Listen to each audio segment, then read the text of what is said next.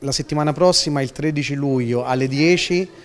presso Palazzo Gradari, la Politecnica delle Marche presenterà la propria offerta formativa con particolare attenzione a quello che è il corso di sistemi industriali e dell'informazione che apriremo qui a Pesaro, un corso di laurea professionalizzante e abilitante. Quindi mm, vi do appuntamento martedì 13 alle 10 qui a Palazzo Gradari e poi vi rimando a tutto l'orientamento sul sito dell'Università Politecnica delle Marche. Una cosa importante è che da oggi fino al 24 agosto alle ore 13 sono aperte le iscrizioni al test di ammissione perché vi ricordo che eh, abbiamo soltanto 50 posti, dico soltanto perché la richiesta che ci arriva dal mondo del lavoro è veramente elevata e quindi sia da parte di aziende che di studi professionali per eh, eh figure professionali del genere. Quindi ecco, l'appuntamento è innanzitutto per martedì 13 presso Palazzo Gradari e poi eh, per eh, l'iscrizione fino al 24 agosto.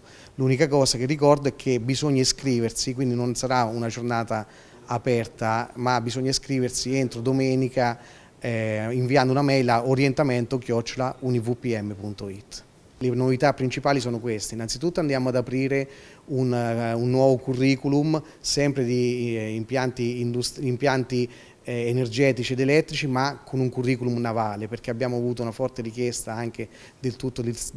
di tutto il distretto medio adriatico, abbiamo moltissimi cantieri e quindi apriamo questo nuovo curriculum. Le altre novità molto importanti è che come poi stabilito dal PNRR questo corso di studi sarà abilitante, questo significa che dà accesso diretto a due sezioni dell'albo dei periti industriali laureati, quindi è possibile eh, andare a svolgere la libera professione senza dover sostenere l'esame di Stato. E l'altra novità importante è che per gli studenti che vengono dagli istituti professionali e tecnici è possibile riconoscere come esami le attività di laboratorio già svolte presso, eh, durante il, tri il, triennio delle superiori. Siccome l'ultimo anno è tutto eh, svolto come tirocinio presso aziende o studi professionali, chi ha già svolto attività per esempio di alternanza scuola-lavoro, chi già lavora può certificare come eh, tirocinio questa attività che ha già svolto, quindi vale anche l'attività lavorativa pregressa e questo è un aspetto molto importante